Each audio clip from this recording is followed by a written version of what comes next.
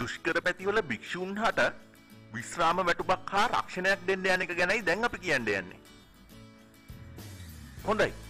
දුෂ්කර ප්‍රදේශවල විහාරස්ථානයන්හි වැඩවාසය කරනු ලබන භික්‍ෂූන් වහන්සේලා වෙනුවෙන් නව විශ්‍රාම වැටුප් ක්‍රමයක් හා රක්ෂණ ක්‍රමයක් හඳුන්වාදීමට බුද්ධ ශාසන අමාත්‍යංශය තීරණය කරලා තිබෙනවා. කොහොමහරි එම භික්‍ෂූන් වහන්සේලාට අවශ්‍ය බේත්හෙත් ඇතුළු අත්‍යවශ්‍ය සේවා සපයා ගැනීමට මුල්්‍ය ප්‍රතිපාදන ලබාදීම තමයි මේ මගින් සිදුවෙන්නේ. ඒ වගේම නව රක්ෂණ ක්‍රමය මගින් භික්‍ෂූන් වහන්සේලාට විධ රෝගවලට ප්‍රතිකාර ගැනීමේදී විශාල සහයක් වනු ඇතැයි විශෂභාර ඇමති ගාමිණී ජයවික්‍රම පෙරේරා මහතා පැවසවා.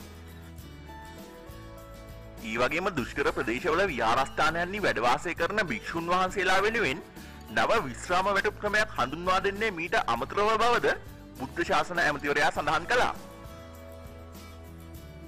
ඒ වගේම දුෂ්කර ප්‍රදේශවල විහාරස්ථානයන්හි වැඩවාසය කරන එබඳු භික්‍ෂූන් වහන්සේලා බහුතරයක්ම විශාල වශයෙන් අගහිකගම්වලින් පෙළෙනවා ඒ වගේම ඇතැම් භික්‍ෂූන් වහන්සේලා ශාසනය පවා අතහැරයාමට ප්‍රධාන හේතුවක් වී ඇත්තේද තමන් මුහුණ දෙන ආර්ථික දුෂ්කරතා බවට බුද්ධ ශාසන අමාත්‍යංශය හඳුනාගෙන තිබෙන බවද ඇමතිවරයා වැඩිදුරටත් සඳහන් කළා.